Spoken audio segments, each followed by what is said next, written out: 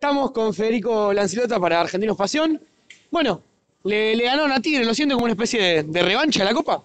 No, para nada. Ya lo que pasó, pasó. Hoy era un partido por, el campeonato, por los tres puntos. Nosotros necesitábamos ganar para seguir prendidos ahí arriba. Por suerte, eh, creo que hemos hecho un, gran esfuerzo, un gran, un gran trabajo. Lamentablemente, la expulsión de Miguel nos condicionó un poquito el segundo tiempo, pero bueno, logramos sacar el partido adelante.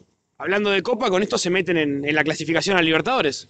Es el objetivo, es el objetivo. Estábamos trabajando para eso. Eh, y nada, esperemos sumar la mayor cantidad de puntos para, para hacer un gran torneo y terminar ahí arriba peleando y con la clasific- clasificación a alguna de las copas. Te quedaste sin Miguel en la defensa para el partido que viene. Eh, ¿Cómo ves la cobertura de ese puesto? Muy bien, los chicos están trabajando de gran manera.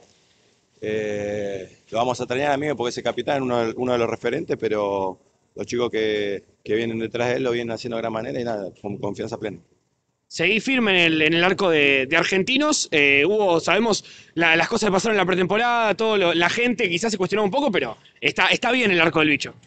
La verdad que no sentí en ningún momento cuestionamiento. eh, siempre confié mucho en mi trabajo y, y la gente me ha, me ha tratado de, mejor manera, de la mejor manera posible eh, desde que llegué al club. Así que nada, agradecerle porque, porque eso lo siento, la verdad.